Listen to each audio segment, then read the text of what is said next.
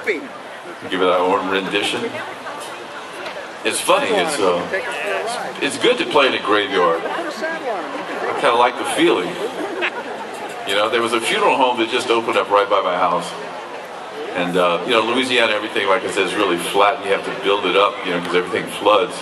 So there was, he wanted to know if he could deposit some water in this coulee or this creek between our houses. And, you know, I said, you know, I didn't want any formaldehyde or anything.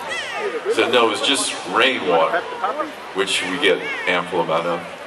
So I agreed, and uh, then he asked me to do this commercial for a funeral home. Now, I don't know how many of you who've done a commercial for a funeral home, but it's kind of like a different subject, you know what I mean? You can't really, people don't really laugh at that kind of stuff, but it's, it's totally hysterical, you know? I'll give you an example.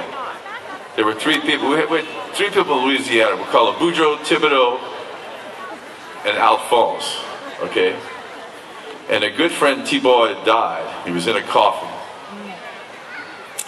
And they said, oh man, he don't look good. You know, how they make, make you look all terrible. Nobody, nobody ever looks the same. That's what should, best thing is to get cremated. But anyway, so they looked at him and said, you know, we're going to die one day too, and people are going to talk about us.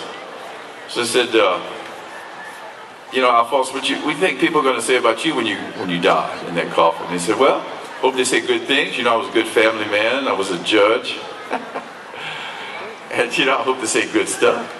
All right. Said, Thibodeau, what you think people are going to say about you? Said, oh, well, you know, I used to produce this festival. It was pretty nice, but I like to drink a whole lot too, you know, so I hope they don't talk too much about me like that. Said, all right. I said, Boudreaux, what you think people are going to say about you when you're in that coffin? Boudreaux said, look, he moved.